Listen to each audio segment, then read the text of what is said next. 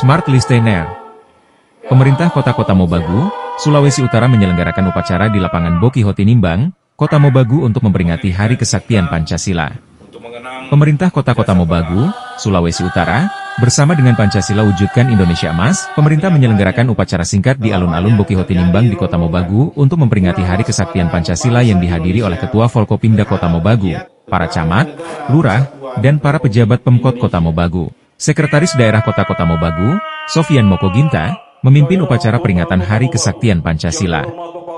Bagi pemerintah Kota-Kota Mobagu, Hari Kesaktian Pancasila merupakan momen untuk terus menghidupkan dan melestarikan nilai-nilai Pancasila sebagai ideologi bangsa yang mulai tergerus oleh kemajuan teknologi.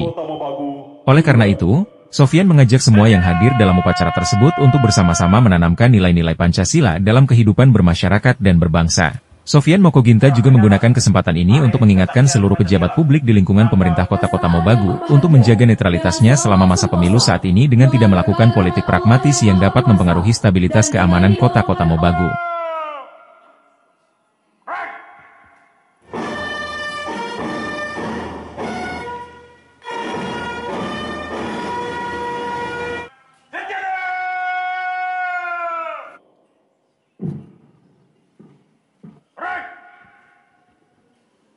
Ya,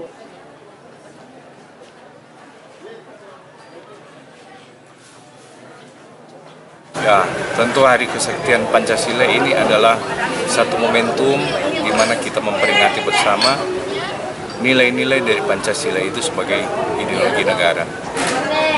Uh, saat ini kita ketahui bahwa sudah banyak nilai-nilai itu yang mulai bergeser mungkin diakibatkan oleh faktor-faktor eksternal maupun faktor uh, internal sehingga ini menjadi momen yang sangat penting untuk kita sama-sama melakukan merenungi kembali, merefleksikan kembali nilai-nilai Pancasila itu di dalam kehidupan kita, kehidupan bernegara, dan tentu uh, di dalam kehidupan kita sehari-hari dalam kehidupan bermasyarakat.